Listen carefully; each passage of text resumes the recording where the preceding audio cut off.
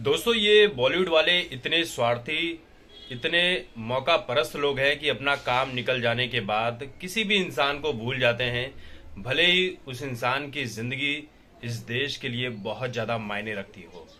दुनिया की सबसे खूबसूरत औरत, ऐसा कहा जाता है, ऐश्वर्या राय। ये इतनी बड़ी मौका परस्त इतनी बड़ी मतलबी निकली, जिसके बारे में क्या ही कहा जाए। आपको याद होगा कि सरबजीत के ऊपर एक फ़िल्म बनी थी साल 2016 में। उस फ़िल्म में ऐश्वर्या राय ने सरबजीत की बहन दलबीर कौर का किरदार निभाया था। इस किरदार को निभाते वक्त वो दलबीर कौर के साथ दो तीन महीने तक रही। उनके हाव भाव उनके अंदर की जो जो कहानियाँ हैं, उसे सीखने का काम किया था।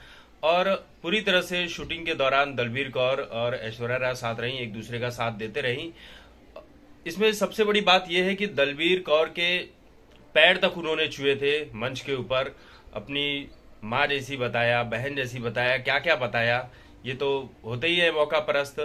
लेकिन कल दलबीर कौर की जब मौत हो गई तो ऐश्वर्या राय वहाँ पहुँची तक नहीं, पहुँचने का छोड़ दीजिए। एक शब्द तक नहीं कहा, ना मीडिया पर, ना सोशल मीडिया पर। ये इतनी बड़ी मौका परस्त निकली ऐश्वर्या राय।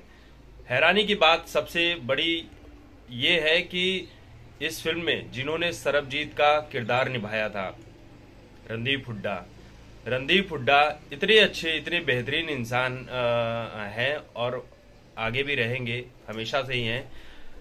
रणदीप हुड्डा पंजाब पहुँचे, उन्होंने जो भी अंतिम संस्कार की प्रक्रिया होती है, उन सभी में साथ दिया, भाग लिया और अंत तक खड़े रहे वहाँ पर। और एक ऐश्वर्या राय है, जिन्होंने सिर्फ़ पैसे कमाए उस फ़िल्म से और निकल गई। कहानी ये भी है कि ऐश्वर्या राय ने इस फ़िल्म की रिलीज़ के बाद कभी भी दलबीर कौर से कोई भी कांटेक्ट नहीं किया, ना भी किसी तरह के संपर्क में रही। जबकि रणदीप हुड्डा लगातार उस परिवार का हालचाल पूछते रहे, उस परिवार के संपर्क में रहे। सरबजीत की कहानी जिन्हें नहीं पता, वो इस फ़िल्म में देख सकते हैं कि किस तरह से वो रास्ता भटक कर पाकिस्तान चले जाते हैं, इंडिया का बॉर्डर क्रॉस करके। और फिर वहाँ पर पाकिस्तान वाले उन्हें गिरफ़्तार कर लेते हैं। 20 साल तक उन्हें जेल में बंद रखा जाता है, तड़पाया जाता है, बहुत सारे जुल्म सितम किए जाते हैं उनके ऊपर। और अंत में जब रिहाई की बारी आती है, जब ऐसा लगा था कि सरबजीत छूट कर इंडिया आ जाएँगे तब पाकिस्तानियों ने अपनी कायराना हरकत दिखाई और अपने क्रूर कैदियों के द्वारा जेल में ही सरबजीत की हत्या करवा दी थी। लेकिन इनका मतलब ही पन देख लीजिए। इसे देखकर बड़ा दुख होता है कि ये लोग इंडियन आर्मी के ऊपर, शहीदों के ऊपर और ऐसे जो लोग हैं जिन्हें जेल में इतनी यातनाएँ दी गई, इनके ऊपर जब फ़िल्में बनाते हैं तो ऐसा लगता है कि इनसे बड़ा देशभक्त कोई नहीं है। लेकिन उसके बाद ये कभी इन परिवारों को पूछते नहीं है, ना ही कभी बातें करते हैं। यहाँ तक कि मौत हो जाए तो भी नहीं करते हैं। और हम उम्मीदें कर रहे थे कि सुशांत सिंह राजपूत की मौत पर ये बॉलीवुड वाले कुछ बोलेंगे।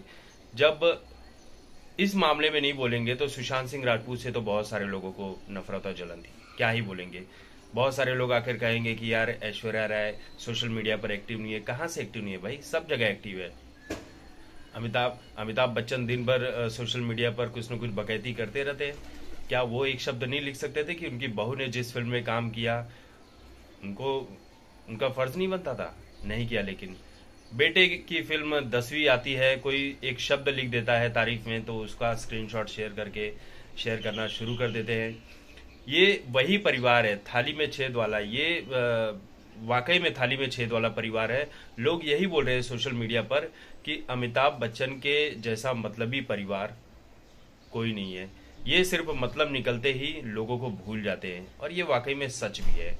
ये दिखाता है, ये दर्शाता है ऐश्वर्या राय का मतलबीपन कि सरबजीत के फैमिली के साथ वो कितनी टच में थी। रणदीप हुड्डा की वाकई में दिल से तारीफ़ करनी चाहिए।